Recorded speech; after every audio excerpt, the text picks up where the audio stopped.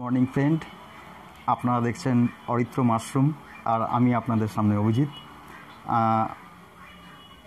এখনও যারা আমার চ্যানেলটিকে সাবস্ক্রাইব করেননি, তাদেরকে অবশ্যই বলব আমার চ্যানেলটিকে সাবস্ক্রাইব করবেন এবং পাশে বেল আইকনটা ক্লিক করবেন যাতে আমি নতুন নতুন টপিক নিয়ে যখনই আলোচনা করব, আপনার কাছে নোটিফিকেশান প্রথমে পৌঁছে যায়।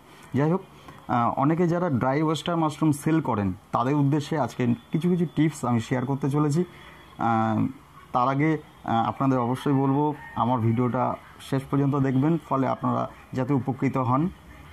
মাশরুম তোলার কিছু প্রসেস রয়েছে বা মাশরুম শুকানোর কিছু প্রসেস রয়েছে, সেই প্রসেসগুলো যদি আপনারা অ্যাপ্লাই করেন, তাহলে দেখবেন আপনারা বেশি বেনিফিট পাবেন।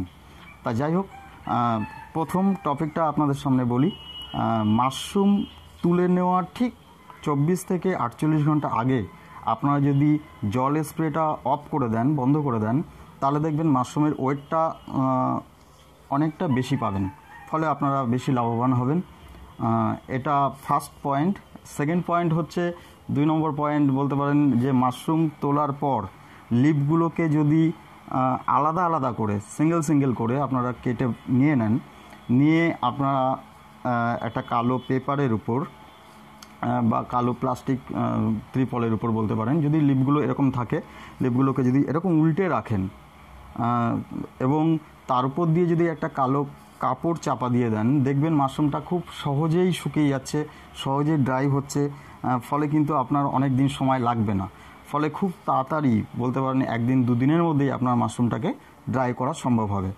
তা যাই হোক এই দুটো টিপস এছাড়াও তিন নম্বর টিপস আপনাদের শেয়ার করব, সেটা হলো, অনেকেই আছেন যারা ড্রাই মাশরুমটাকে বাইরে বিভিন্ন কোম্পানির হাতে দিয়ে দেন বা বাইরে এক্সপোর্ট করেন, তাদের অনেক সময় কি হয় ট্রান্সপোর্টে যখন গাড়ি যায়, ফলে কি হয় চাপে প্রচুর ড্রাই মাশরুম গুঁড়ো হয়ে যায় বা ডাস্ট হয়ে যায়, ফলে এই সমস্যাটা হয়। সেক্ষেত্রে আমার কিছু মানে এক্সপিরিয়েন্স বলতে পারেন, আমি ট্রাই করে দেখেছি।